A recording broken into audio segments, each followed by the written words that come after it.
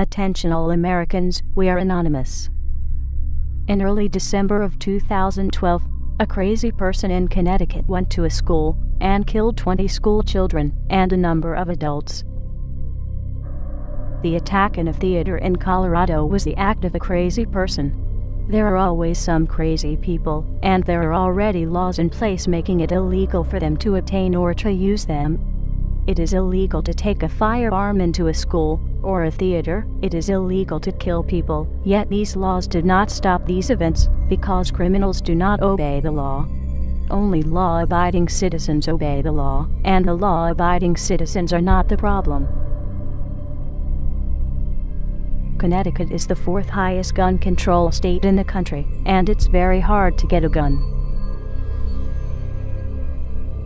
Chicago and New York have the highest crime rates, and each has had total gun bans for years, yet gun violence increased.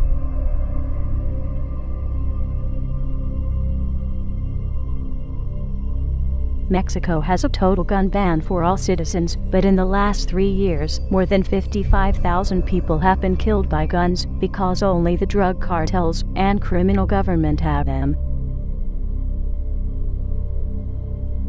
Throughout history, authoritarian governments have used gun violence as an excuse to take people's firearms and control their population. This is exactly what Adolf Hitler did to disarm the German people, and look at the atrocities his administration did.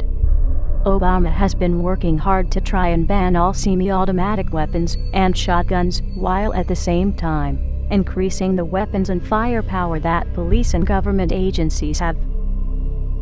Within minutes of the Connecticut shootings, politicians were on the state run media saying it was time to get rid of the guns, and they will be talking about it for weeks to come. The Obama administration and his government funded media have been promoting this idea for months. Every time there is a shooting performed by a crazy person, the media talks about it non-stop for weeks or months. But when there is an illegal or unlawful shooting by police that does not fit Obama's agenda, the story is barely mentioned, such as some of the following cases. August 2, 2012. Chavis Carter was shot in the head while handcuffed in a patrol car in police custody. Police claim he hid the gun and shot himself, even though he already told his girlfriend they would go to a movie when he got out.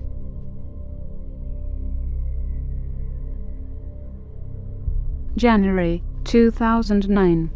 BART police officer Johannes Mehserle shoots and kills a handcuffed, restrained, unarmed man, while multiple other police officers are around.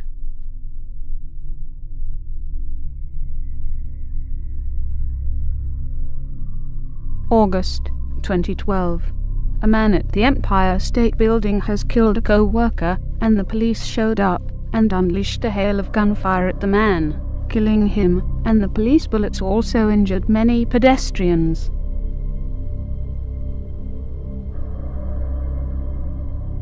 July 2012. Some protesters demand answers from police about why they shot a man in the back. The police responded on the crowd of protesters that had many children under the age of 10 with rubber bullets and attack dogs.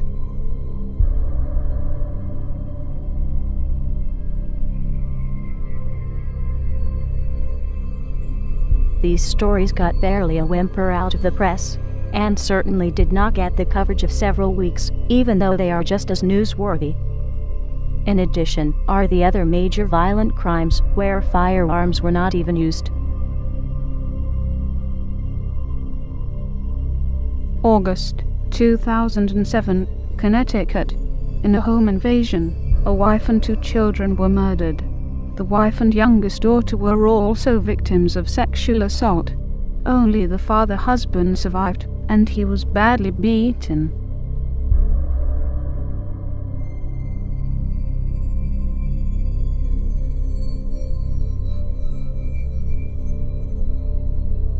October 2012. A mother and her two children were brutally murdered in California home. The suspect did not choose a firearm.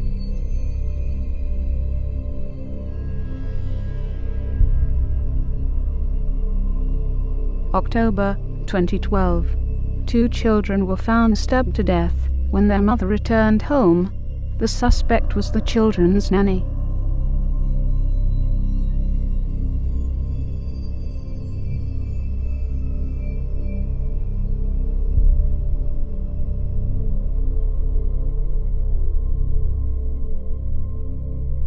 September 2012.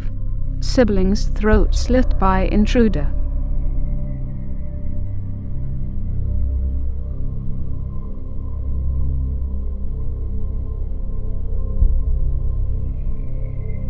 The press also hardly mentions the cases where guns were used by law abiding citizens to save lives to avoid being raped or killed.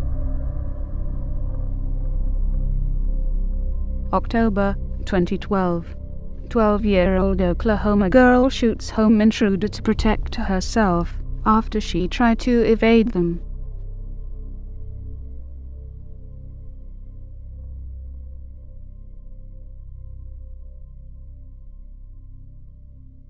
January 2012. 14 year old boy kills intruder when a gang of four men break into his house, where he was alone with his 17 year old sister.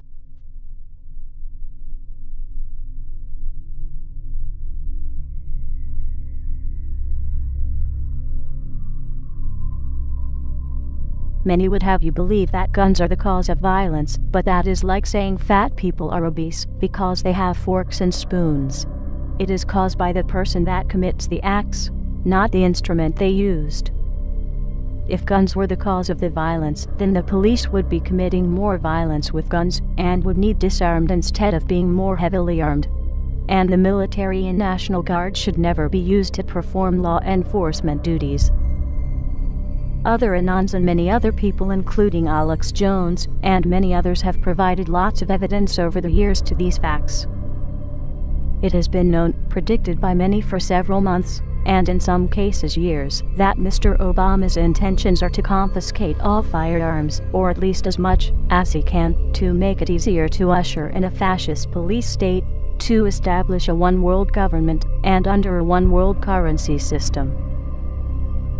It was a tragedy in Connecticut, where the school children were murdered by a crazy person, and, as we have demonstrated in this video, there are countless cases where the press did not report on it as much because it was not on a political agenda.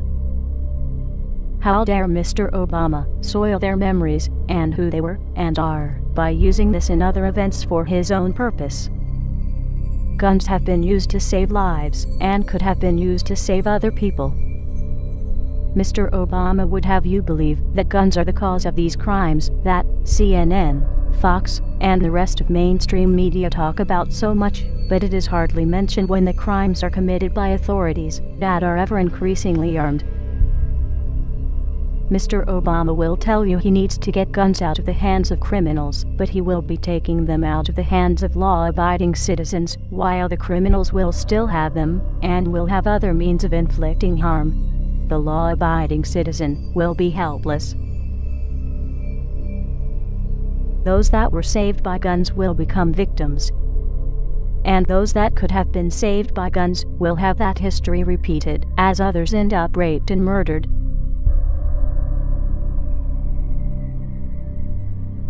Mr. Obama, the Second Amendment of the U.S. Constitution does not talk about an army that is covered elsewhere in the Constitution. It does talk about a well regulated militia, which is made up of civilians with their own weapons. The Second Amendment of the U.S. Constitution does not talk about protecting government or government resources, but it does talk about being necessary for the security of the free state. The Second Amendment of the U.S. Constitution does not say a single word about hunting or sport, but it does say The people's right to keep and bear arms shall not be infringed to the American people. As many laws have been banning firearms in cities such as Chicago, New York, and Washington, D.C., have been implemented, and, as the courts get them, they are now being overthrown as unconstitutional. Even if they were not ruled on, they are an infringement to your Second Amendment rights, and you have no obligation to obey it, and the courts have no obligation to enforce it. No one is bound to obey an unconstitutional law, and no courts are bound to enforce it. Mr. Obama, as the chief law enforcement officer of the country, you are responsible for the conduct of those under your command. There will be no further tolerance of any of the following. Any act to infringe on any of the Bill of Rights, as identified in the U.S. Constitution.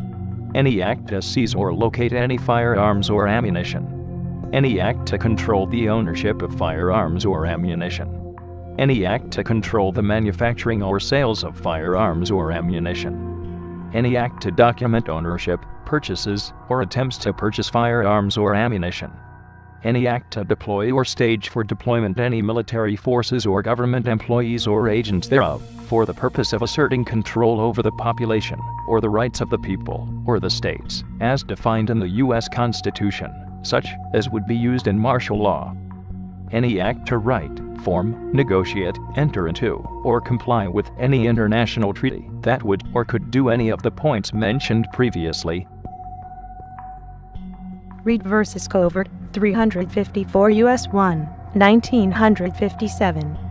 Treaties do not confer powers not authorized by Constitution.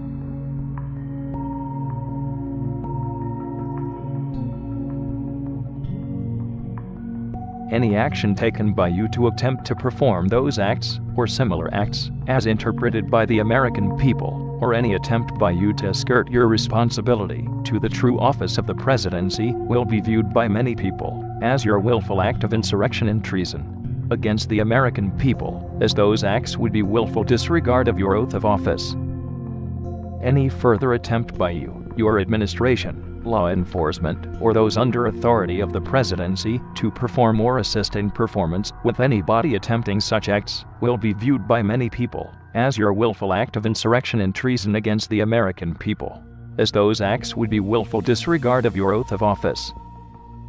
Any further attempt by you, your administration, law enforcement, or those under authority of the presidency to do any of those acts mentioned or anything similar will be viewed by many people as your willful act of insurrection and treason against the American people, as those acts would be willful disregard of your oath of office.